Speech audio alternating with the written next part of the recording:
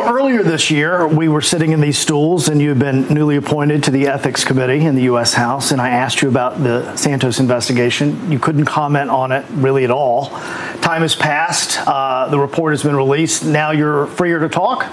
Absolutely. So once the report has been completely released, members of the Ethics Committee can speak on it. In fact, the chair of the Ethics Committee has introduced a resolution to expel Santos. So clearly we can talk. But it was very important that while this investigation was going on, which was extremely thorough, bipartisan, and then, of course, our vote to make the report public um, was unanimous. During that time, it was just very important for the process, for due process, that members of the Ethics Committee um, kept an open mind, let all the evidence come through, and really didn't um, tip our hand.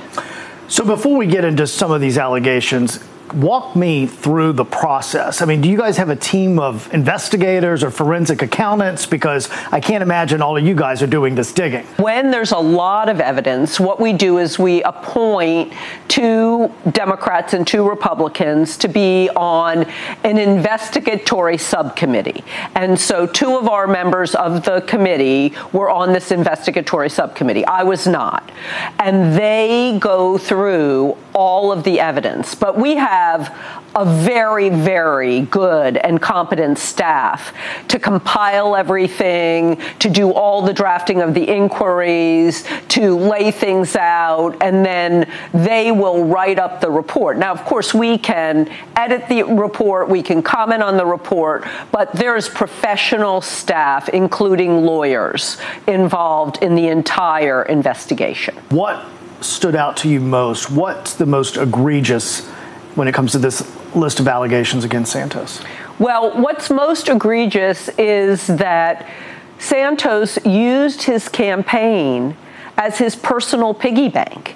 So there are so many rules for how you use campaign funds, how you report those funds, how you interact with your donors he violated all of those rules. So he was basically using campaign funds for personal use, but creating shell loans and um, relationships with organizations that he had control over, directing his staff to falsify records. He basically used the context of the campaign as a way to get money that he used for his personal benefit. Now, some of these false loans or allegations of fake loans were used to lure donors, right? Correct. So he would say, well, we need to make up the shortfall in our campaign so that we can buy yard signs or whatever. I'm just making up the yard sign part. And say, this is why we need to get, we need this money. But it was a lie. And in the meantime, he was using funds to travel for um, lavish expenses, for cosmetic, um, you know, uh, enhancements, let's well, just say. I mean, let's just get into it. Botox, Hermes, right. Ferragamo. Yes. We can go on down the list. I mean, these are high end um, retailers that he was shopping at allegedly. Correct. So, which goes back to my initial statement that he was using his campaign finances to fund his lifestyle. With all due respect to the committee, um, it's not the youngest crowd in the world. And I, I put myself in that category because I'm not either. Did they have to get a primer on what OnlyFans is? I mean, how how many of them even knew what that well, is? I, I was not on the investigatory subcommittee, so I don't know whether they got um, any kind of background. But we pretty much got the report in advance of our committee meeting because we had to vote all in person, face to face, to accept the findings of the report. The OnlyFans part, you know, I hate to hone on it so much, but it was one of the things that made people's eyes pop quite a bit in the headlines. Well, um, people had their favorite parts of the report, and I'm glad that was yours. I'm not saying it was mine.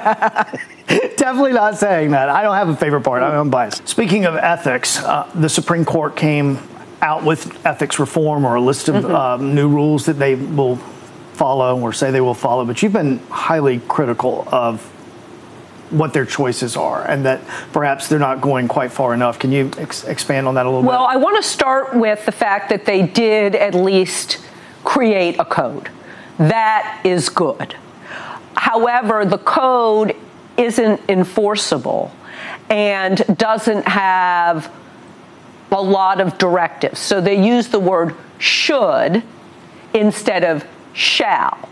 And then there isn't a method of enforcement. And then, of course, this issue of recusal um, is not is left entirely up to a justice. So what I would say is it's a good first step, but now we need to see some teeth put into it. So this is the second vote to expel Santos. The first attempt failed because Republicans who did not vote in favor said they wanted to wait until the report was available, which is available to all of us now online to see. It takes a two thirds vote, guys, to be thrown out of the U.S. House. It will be an interesting, interesting, and very public vote. Yeah, we'll see what happens. And with, Yeah. re- with reference to the SCOTUS, shall and should, there's like oceans Right. of difference between those two things. Major things. difference, absolutely. Ross, thank you. You bet.